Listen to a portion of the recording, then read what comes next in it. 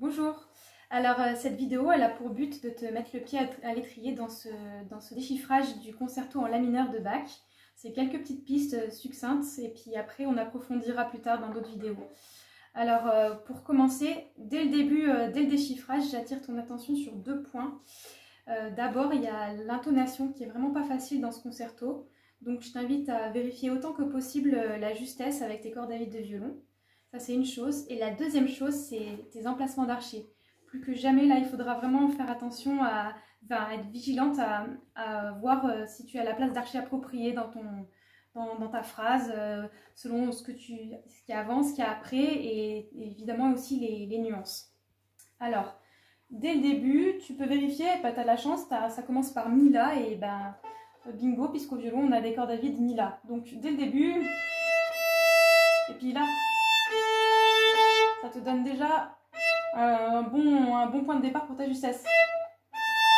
Ensuite, je redescends. Et tu vérifies.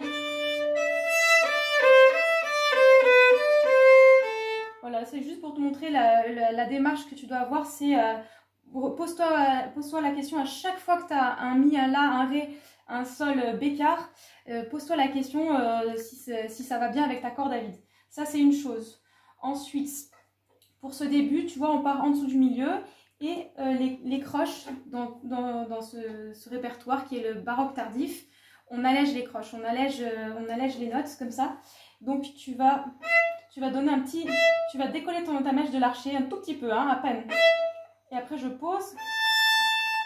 Tu vois le la, pareil, je l'alourdis pas, c'est vraiment à la pointe, j'allège, ça fait vraiment petit peu de vibrato.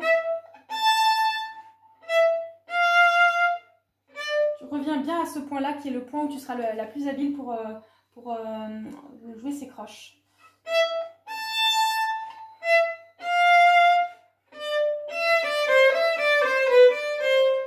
Alors là, j'attire ton attention sur cette fin de phrase, ces deux croches que je t'ai marqué un petit crescendo, un petit décrescendo pardon sur ces deux croches là.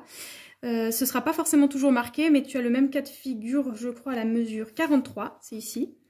Alors là, c'est important que ton œil s'habitue à repérer ces fins de phrases avec euh, ces deux croches. C'est toujours en désinence. Donc là, je t'ai marqué les, les décrescendo, mais je te les marquerai pas toujours.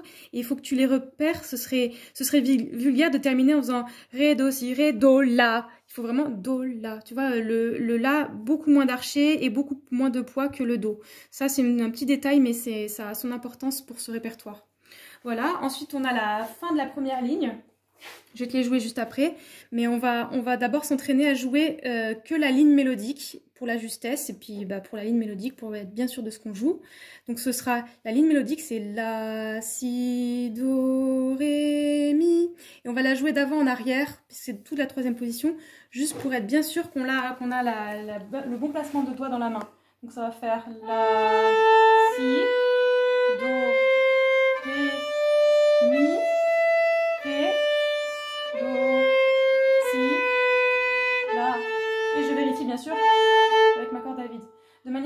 travailler la justesse euh, à l'envers, à l'endroit, euh, enfin, quand tu as des mouvements comme ça, euh, à l'envers, à l'endroit, ça aide bien à avoir le bon à repérer bien l'écart entre les doigts.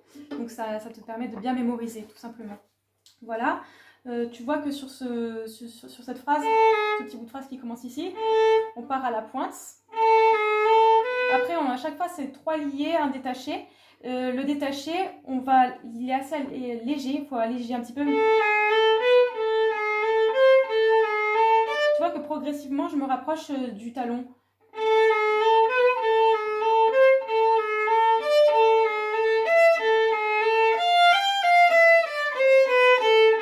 Voilà, c'est juste, tu vois, tu pars de, au début de cette phrase, tu es vers cette partie de l'archer, vers la, pointe, et puis petit à petit, tu profites des, trois notes liées pour t'amener à à la mesure 7, le Fa il sera ici au niveau du barycentre de l'archer qui se situe ici.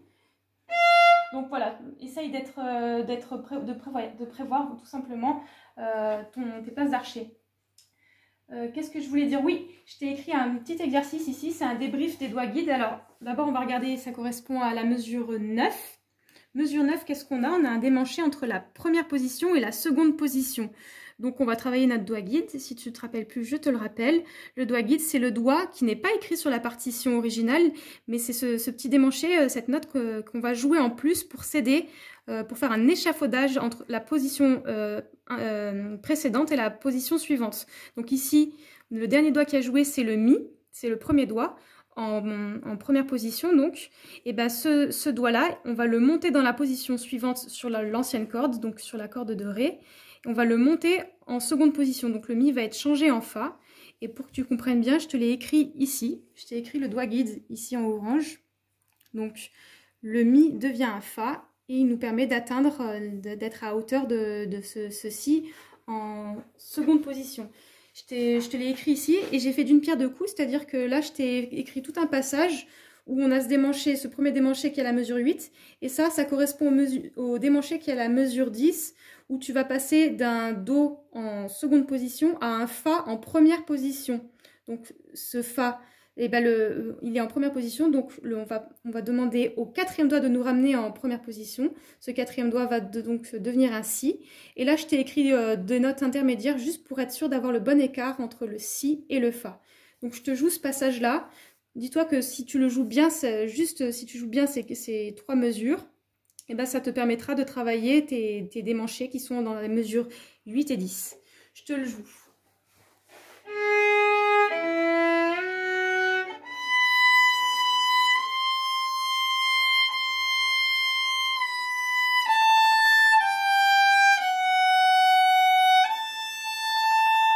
Voilà, c'est un exercice qui est complètement, euh, là je l'ai complètement isolé du concerto.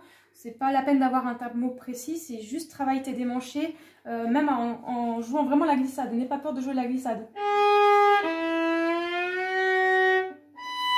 Voilà, vraiment n'aie pas peur de, glisser le doigt. En revanche, essaye d'avoir euh, la, main la plus légère possible, ne pas crisper, ne pas serrer ton pouce sur le manche. Et c'est valable pour tous ces démanchés. Je t'en ai fait, je t'ai fait des démanchés. Pareil pour la mesure 18, tu seras en poussant, donc j'ai écrit un petit poussé ici. Donc ça fait Fa.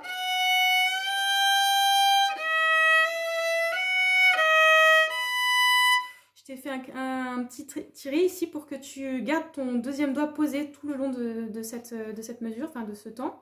Et là, je t'ai dessiné, je ne sais pas si ça va se voir à l'image, je t'ai dessiné des tirés entre le Ré et le Si. C'est juste pour te dire que les doigts sont collés. Donc si tu vois, ça va faire... Je fais le démancher, le doigt guide. Ensuite, je tire bien mon deuxième doigt pour avoir un Ré dièse garde mon ré dièse posé et mon si vient se poser, il touche le doigt, les doigts se touchent. Voilà, après il y a d'autres démanchés que je t'ai écrit que tu peux voir ici à l'image, que tu auras sur la feuille, euh, que je t'enverrai euh, via Google Classroom.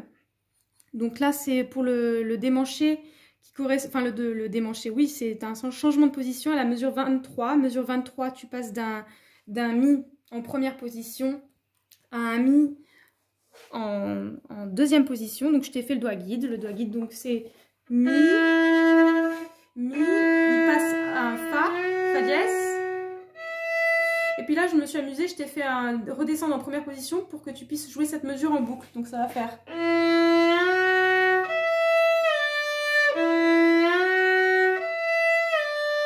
Voilà, et puis euh, pour finir, je te montre euh, juste le démanché qui correspond à la mesure 62-63.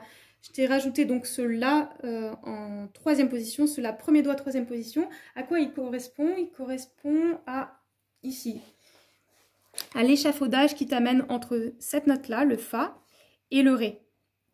Donc ça fait, je te joue donc maintenant ce que j'ai écrit là sur cette feuille à côté.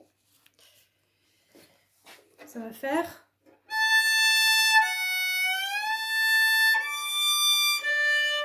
tu vois, je glisse, je garde mon La posé, et ensuite, en prime, je peux jouer l'octave. Et en plus, vérifier avec l'accord David qui est à côté. Voilà. Déjà, si tu fais bien juste ces, doigts guides, ces démanchés de cette feuille de préparation, ça te donne déjà vraiment un, très très bon début. Pour le reste, euh, tu prends euh, petit à petit. Euh, Rome ne s'est pas faite en un jour tu prends vraiment très très très très très lentement, mais avec les places d'archer déjà que tu, anticipes sur les places d'archer que tu veux donner pour la fin. Donc voilà, bon courage Et puis à bientôt, je te ferai une prochaine vidéo pour être un peu plus, pour aller un peu plus en profondeur. Ciao ciao